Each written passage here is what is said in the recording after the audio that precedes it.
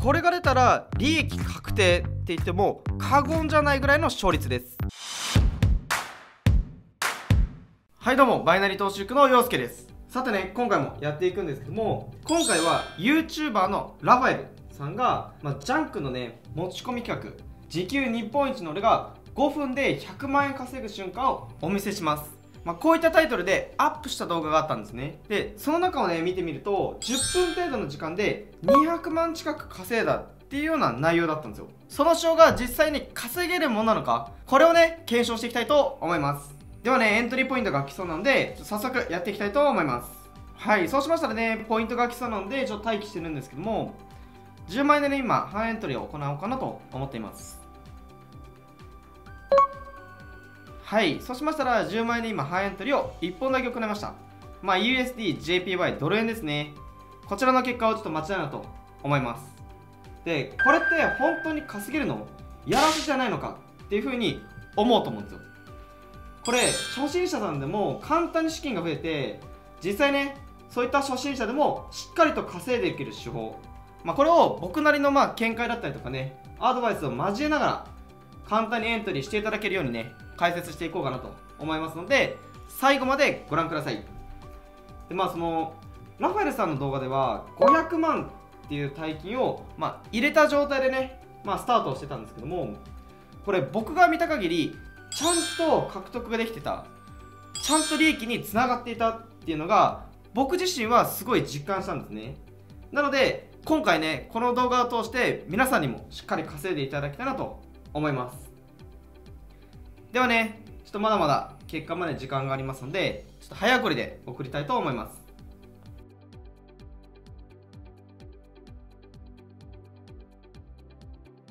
はいそうしましたらねしっかりと勝つことができています。で今回10万円でのエントリーでしたので8万5000円の利益の獲得となります。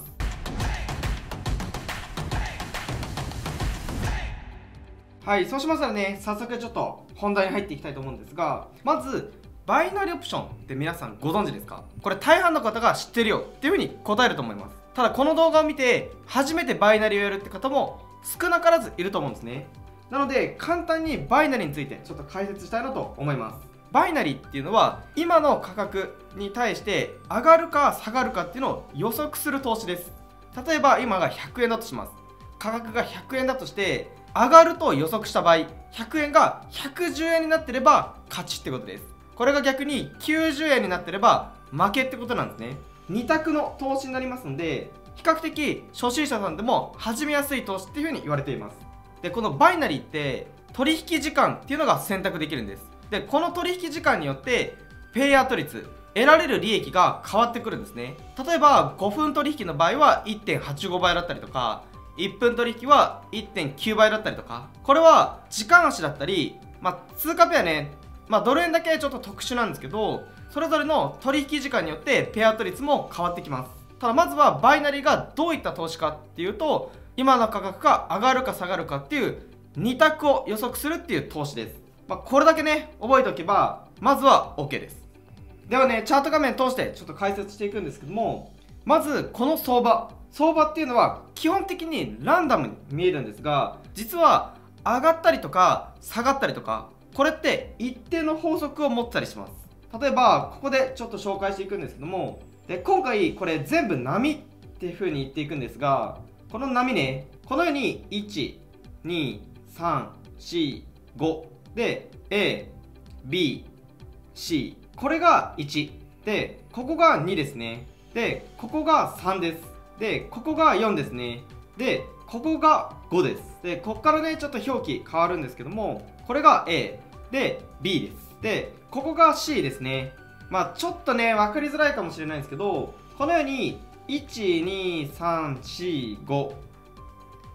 ABC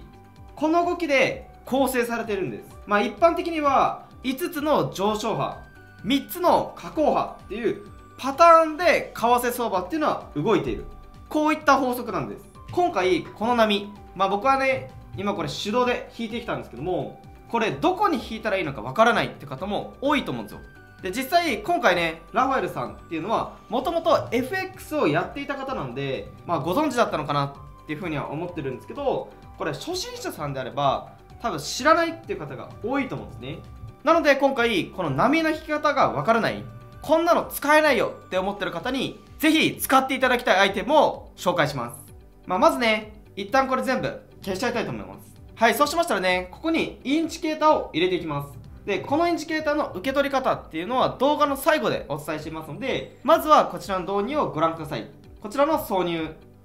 インジケーターのカスタムの中にありますこちらエリオットジグザグ。こちらを選択してください。でこちらの数値とはねそのままで構いません。OK ボタンを押していきます。はいそうしましたらこんな感じですね。こういった形でインジケーターが挿入されます。これさっきの覚えてますか？さっき縦線をねこうやってジグザグの形でさっき引いてきたんですけどもこれを一瞬で表示させる方法があります、まあ、まさにこれ今ね表示してるインジケーターになるんですがこれを活用することでじゃあどこの波がエントリーポイントの基準になるのか相場状況に合わせて的確なポイントがどこかっていうのが一瞬でわかるインジケーターなんです。ではこのインジケーターを使ってどこがエントリーポイントに当たるのか。これをちょっと紹介していくんですけども最初に基準となるポイントからお伝えします。それはこの2 4 A C この4つのポイントが基準となります。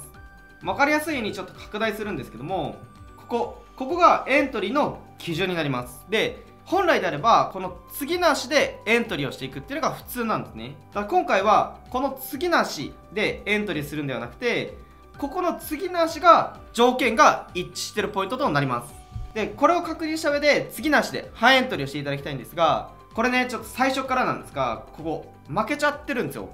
ただ今回のこの賞って1マーチンを推奨します。つまりここでね負けてしまっているんですがこのまた次なしでマーチンかけていただくとしっかりと陽線が形成されているので勝つことができています。で今回なぜマーチンを推奨してるかっていう部分なんですがこれ根拠としてはめちゃくちゃ強いんです。ただ相場っていうのは必ず調整のポイントがありますのでそこで負けてしまうってことももちろん中にはあります。ただそれでやめてしまうのはすごくもったいないのでそういったポイントがあってもしっかりとプラスにつなげれるように1マーチまでなら OK とします。では次のポイントで言うとここですね。ここが基準となりここ。これが本来の条件が一致したポイントになります。ですのでこちらの単線の次なしで半エントリーしていただくとこのように陽線が形成されておりますのでしっかりと勝つことができています。そしたら次のポイントで言うとここですね。この達線の隣なしここが条件一致しているポイントですので次なしで半エントリーをしていきます。そうするとこのように陽線が形成されておりますのでしっかりと勝つことができています。そしたら次のポイントで言うとここですね。この達線の次。つまり条件1っていうのがこちらのポイントになりますのでこの達線の次なしで半エントリーをかけていきます。そうするとこのように陽線が形成されておりますのでしっかりと勝つことができています。じゃあ反対にローエントリーはどこかっていうとまあ察しのいい方ね。わかると思うんですがこの空いてる部分。つまり135そして B ですね。この4つがローエントリーのポイントになります。で同じようにね早速見ていくんですがここの次足が基準です。つまりこちらの達成の次足でローエントリーをかけていきます。ですがこちら陽線ついてるので残念ながら負けです。ただ1マーチにして次足陰線形成されておりますのでしっかりと勝ちにつなげることができています。でこのポイントで言うとここのここですね。こちらが条件が一致したポイントになりますので次の足でローエントリーをかけていきます。そうするとこのように陰線が形成されておりますのでしっかりと勝つことができています、まあ、分かりやすく言うとこの角になってる部分の次の足が条件が一致したポイントっていう風に覚えておいてください。なのでここのポイントで言うとここが角になるのでこの達線の次の足これが条件が一致したポイントになります。ですのでこの達線の次の足でローエントリーをかけていきます。そうするとこのように陰線が形成されておりますのでしっかりと勝つことができています。したらここですね。ここもそうです。条件一致してるのを確認し次なしでローエントリーをかけていきます。そうするとこのように陰線が形成されておりますのでしっかりと勝つことができています。じゃあ実際にどうやってエントリーをしていくのか。まあここは正直一番気になる部分だと思いますので実際にねエントリーしてるポイントがございますのでそちらのトレード模様をご覧ください。はいそろそろねポイントが来そうなんでちょっと待機してるんですけども。はいしたら今10万円でねハイエントリーを1本だけ行いました。で USD、JPY ですね。ドル円で今ハイエントリーを1本だけ行いましたのでまずはこちらの結果を見ていきましょう。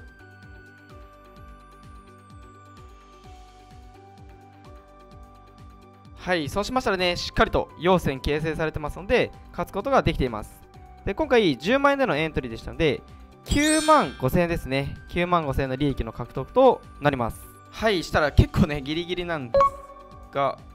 今10万円でねローエントリーを1本だけ行いました。GBP、JPY、ポンド円ですね。まあ、急遽ねちょっとポイントが来たんで結構バタバタしちゃったんですが、まあ、しっかりとね00秒でエントリーを行えてますので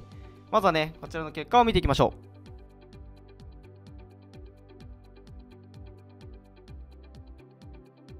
はいそうしましたらねしっかりと陰線形成されてますので勝つことができています。で今回10万円でのエントリーでしたので9万円ですね。GBPI、JPI なんで9万円です。利益の獲得となります。はいそしたらしっかりと勝つことができてましたね。なんとなく皆さんイメージできました、まあ、もしかしたらまだまだこれからっていう方もいるかなと思うので、まあ、もちろん条件等を含めておさらいしていきたいなと思います。はいそしたらこの辺りですね。この辺りがねエントリーポイントになるんですがちょっとサクッと見ていきたいと思います。この達成の次なしでローエントリーをかけていきしっかりと金線形成されているので勝つことができています。でここはこの達成の次。ここですね。このタ戦の次なしでハイエントリーをかけていただくのでしっかりと勝ってるのが分かると思います。でここもこの次なしが条件一致してるポイントなのでそのまた次なしでローエントリーをかけていきます。そうすると陰線ついててしっかりと勝つことができていますね。でここはねちょっと残念ながら負けてしまっています。ですがここ。ここはねしっかりと一発で取れてるのが分かると思います。そしたらここもですねこの達線の次なし見ていただいて陽線がしっかりと形成されてるのが分かると思います。